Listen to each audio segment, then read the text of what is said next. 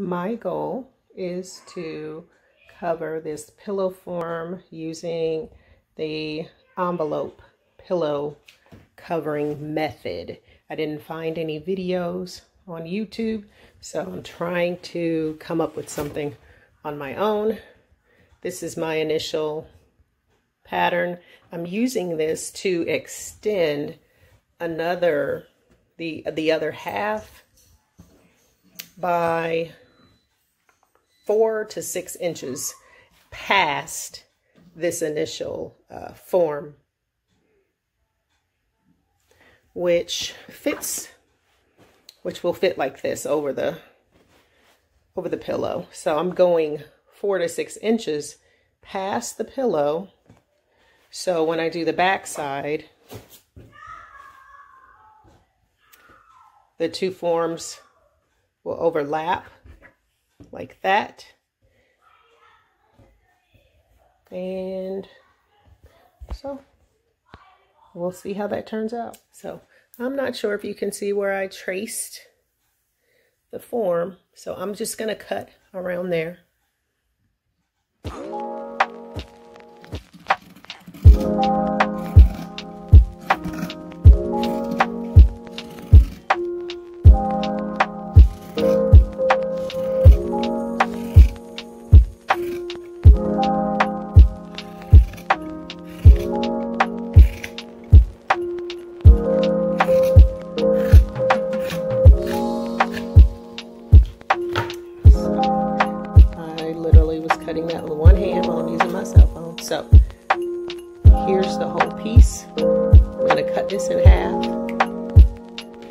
I'm going to cut another one so I can have both of my patterns because I have two pillows. So when I moved, when I pulled the other pieces of fabric underneath the back side of the pillow, I placed them in a way that it would, this is going to be the other side of the cushion and then I needed both of those to line up. So I'll end up trimming this part off around um, to make sure it's round and then just sew around here.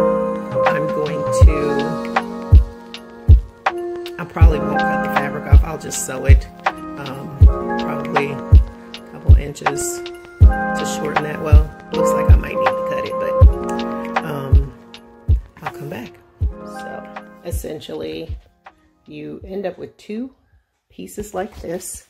I just cut this right down the middle like that. You have two pieces like this. When I cover the pillow, my idea was once these are put together and they overlap, it's going to be round, rounded with, as you can see, that, that's the pillow that it'll cover. And then I'll be able to open the flaps to put the pillow inside. I may have to shorten that, but here is my round pieces. When I sew it, I have right sides together, all the shells facing the same way. I know I'm holding this with one hand. This is my very first video, but I'll line these up so when I, I'm going to pin it around here and I'll just flip it inside out and you'll see that piece. I think I may need to go ahead and make those, make that a little shorter. So I'll come back.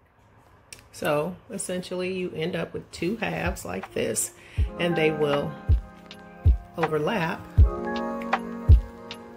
Here's the 17 inch circle for the other other side and then uh, what I did was I folded this over about two inches, folded over then an additional inch. I'm going to sew along this edge here.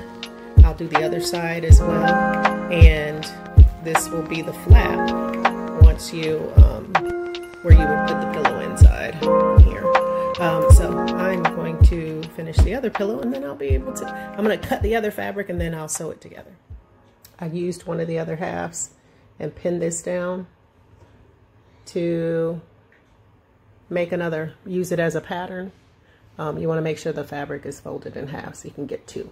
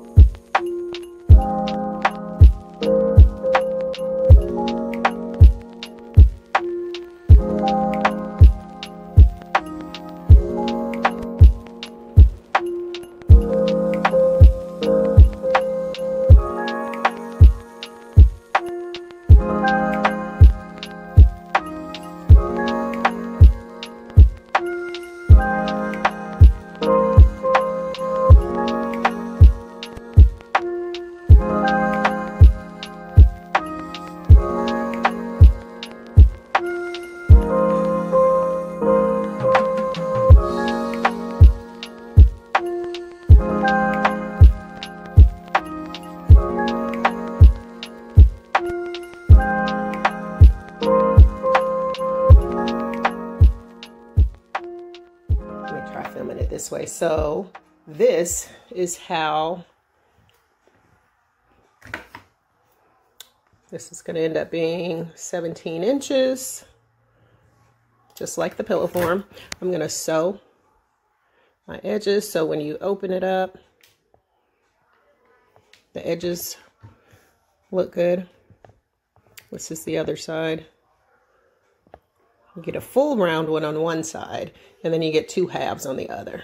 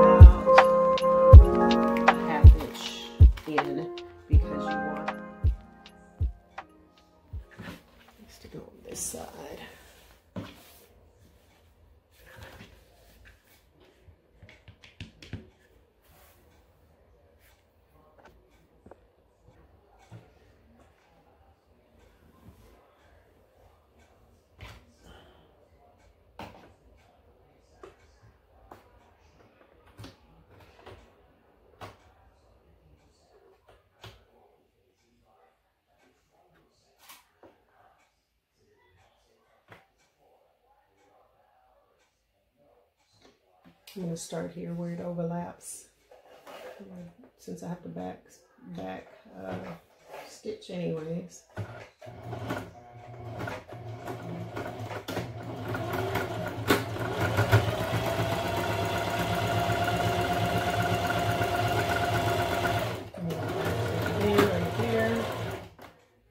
And then here's the strap on the back stitch right there.